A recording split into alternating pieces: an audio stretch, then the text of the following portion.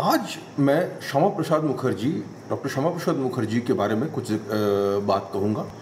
Doctor Shyama Prasad Mukherjee की मौत 23 जून उन्नीस सौ तिरपन में हुआ। और ख़ास करके जम्मू कश्मीर के संदर्भ में श्यामा प्रसाद मुखर्जी पे बात करना तो जायज़ बैठता ही है। बैठता क्यों है?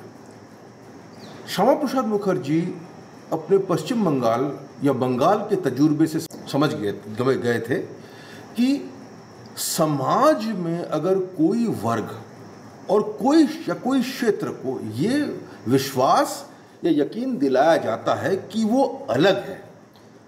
वो राष्ट्र मेन स्ट्रीम जिसको हम कहते हैं, मुख्य धारा जिसको कहते हैं, उसका हिस्सा नहीं है तो उसका परिणाम कभी भी सही नहीं हो सकता।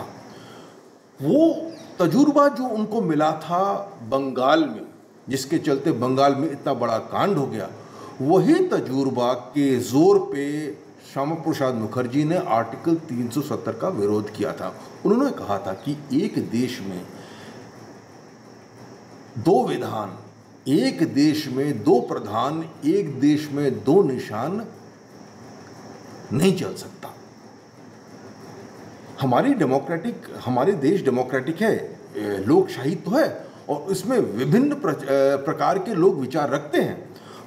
कुछ मूल जो हमारी वैल्यूज़ है, कुछ मूल चीज़ों पे सहमति होनी चाहिए। और संविधान ही जब आप किसी क्षेत्र को अलग से दे देते हो, उसकी जो प्रधान अगर उनका अलग है और उनका निशान जब अलग है, आप एक बुनियाद बना रहे हो अलगावाद का। और इसके चलते श्यामा प्रसाद मुखर्जी ने इसकी कठोर विरोधि विरोधिता की।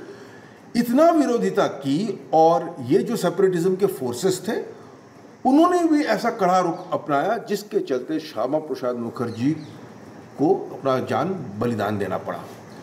और श्यामा प्रसाद मुखर्जी ने जो उस टाइम कहा था, उस वक्त कहा था, वो सत्तर साल में हमने देखा है कि कितना सही निकला कि आप एक क्षेत्र को कुछ अपीजमेंट करके आपने कुछ, आपको कुछ मिला नहीं। और वो सेपरेटिज्म जो है वो बढ़ता ही गया। यही समझ के जब हमारी जब नेशनलिस्ट हमारे देश के जो राष्ट्रभक्त है वो जब समझ गए, उन्होंने पिछले साल पाँच और छः अगस्त में एक ऐसा निर्णय लिया, जिसके चलते श्यामा प्रसाद मुखर्जी ने जम्मू कश्मीर के जो बारे में जो कहा था, उनको उसने, उन्होंने पूरा कर दिया। जो स्पेशल तथाकथित स्पेशल स्टेटस था, वो स्पेशल स्टेटस नहीं था। वो अलगावाद के कुछ चिन्ह थे, उसको ख़त्म कर दिया, वो तो आगे और भी आगे चले गए। इस दिन को मैं श्यामा प्रसाद मुखर्जी को के की मेमोरी को मैं नमन करता हूँ और उन लोगों को सराहना करता हूँ, जिसके चलते श्यामा प्रसाद मुखर्जी ने जो सपना देखा था, जिन्होंने जो चेतावनी दी थी, उस चेतावनी को मानते हुए उन्होंने ऐसा कदम उठाए हैं जिसके चलते आज हमारा देश एक हो गया है।